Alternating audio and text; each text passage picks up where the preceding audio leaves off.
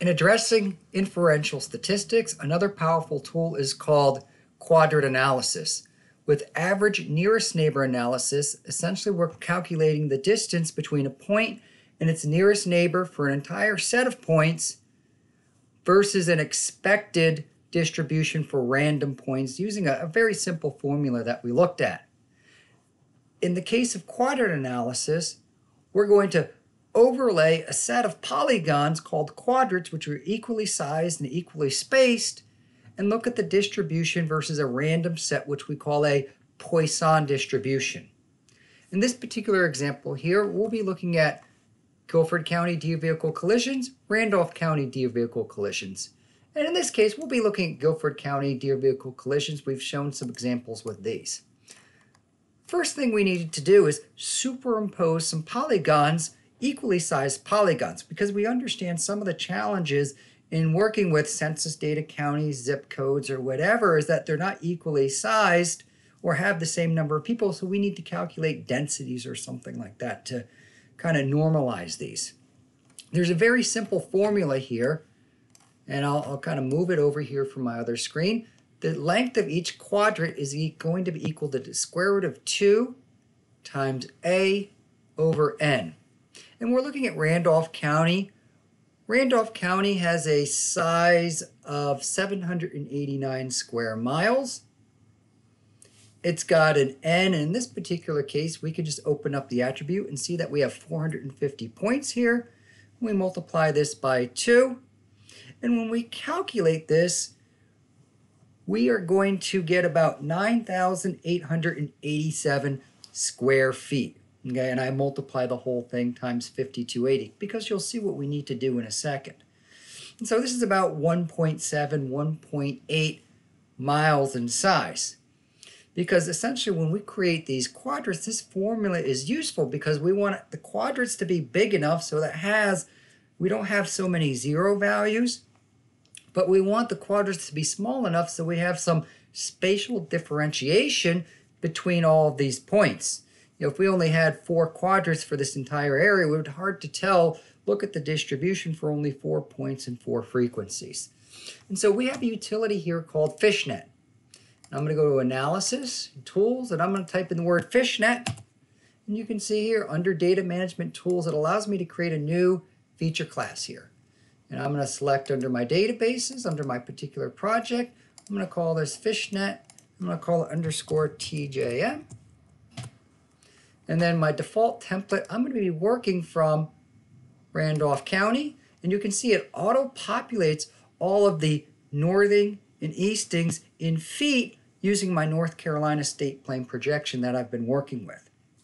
And so I've implemented this formula here using the area, 2, the number of points, and then I multiplied that number in miles times 5280, which is the number of feet in a mile, because I know that I'm working in state plane, so I have 9887. Here we go here. And under geometry type, I want to type in polygon. I want to select polygon. I don't want a polyline because I'm going to be running a spatial join with these to count the frequency within each. I'm going to run this. And you can see what I have here. Now, when I look at this and I look at these contents here, what's one of the problems you see? One of the problems you see is that these quadrats, some of these quadrats, and I'll get rid of the, the labels here, some of these quadrats, they extend to the extent of Randolph County, but they're not entirely contained within these. So if I were to select, say, this quadrat over here, it might not necessarily be fair in that only 25% of the county is located within the quadrat. And so when I start including this quadrat in analysis, essentially it's not going to necessarily be fair if the entire quadrat isn't within the county. A couple ways to remedy that. One is to include a study area or include a buffer of deer vehicle collisions outside of the county that include this fishnet. Another way is that I can go to map, select by location, and I'm just going to select the fish nets that are entirely within Guilford County. that are entirely within. So I want to select the fish nets. TJM, that are entirely within Randolph County. And so now you see, I'm just going to be working with these fishnets here. Okay, so I'm going to go to Data, Export Features, and I'll just call this Working. Oops.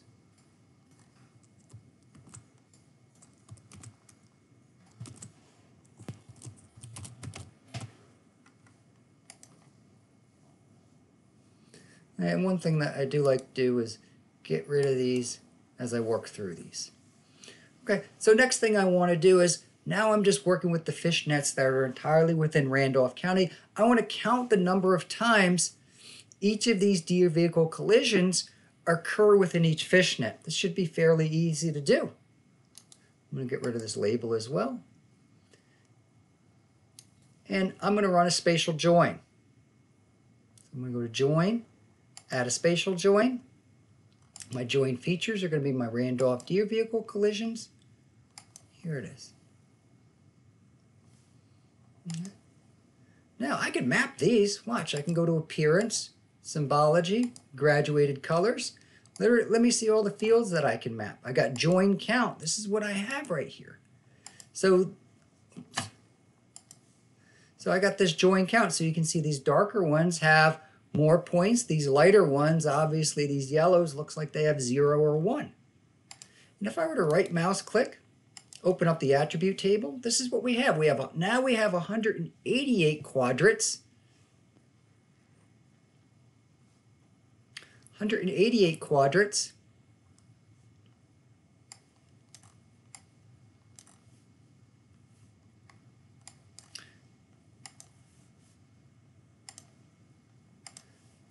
And now I have a frequency. Now this is a little bit easier to look at. Do I have to calculate density? No, I don't because each of these are the same size. So now I can get an idea as to where more are, where less are. Now I want to do this with statistical significance. And I want to essentially create a graph where my x-axis has the frequency, one, two, three, four, five, and then I want to see how many times it appears. So I want to see how many times 3 appears, 4 appears, 2 appears, 8 appears, versus a random distribution that we would expect. Now we already have something like that. That's called a summarize. So I'm going to right mouse click, Click on Summarize. Here we are. Now my output table, I'm going to select it. I'm going to save it in my quadrat analysis because I'm going to open this up in Excel now. So I'm going to go to my quadrat example. I'm going to type in, this is my output table, quadrat example, TJM. I'll save it as a text file. Okay. And here it's telling us, well, we'll just take the, the, the sum of the statistics and I'm going to click OK. All right, now I've saved it there.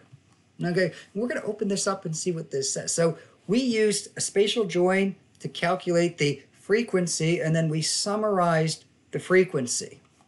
Now the next thing we do, and I'm going to highlight a couple of these formulas here, and I can show you what I'm doing here. I essentially calculated a fishnet right here using this formula, calculated a fishnet, and now what I did here, I've got the number of points and the number of quadrats. Okay? I have the number of points and the number of quadrats that we have. So I'm going to go to my Excel. I'm going to open up what we just created. So I'm going to go to File, Open, and I'm going to go to my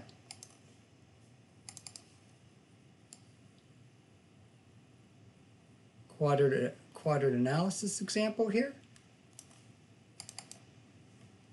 All file. All right, this is the TJM. All right, so this is limited, next.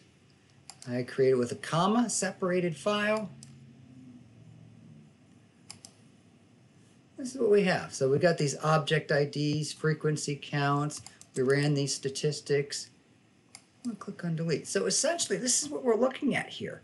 And I'm taking this from chapter 3 in the book. So I have the points and I have the frequency. This is what we saw. Okay? This is what we saw. And what we want to do is compare it to a random set of points. And so of our 188 quadrats that were entirely within Randolph County, 24 of them had zero points, 57 had one, 51 had two, 31 had three, 20 had four, two of them had five, two of them had six, and one of them had eight. And if I really wanted to, I can go to insert. I'll type in seven and zero right there. Now next, I've got this little formula here where I'm going to run this thing called the Poisson distribution. And this assumes a, a, random distribution of this number of points based on an average. Now look at this formula here. P sub x equals e to the negative lambda times lambda to the x over x factorial. All right, we don't have to calculate these. We have something, we have a formula in Excel that does this for me. Now we have this lambda is the average number of features per quadrat.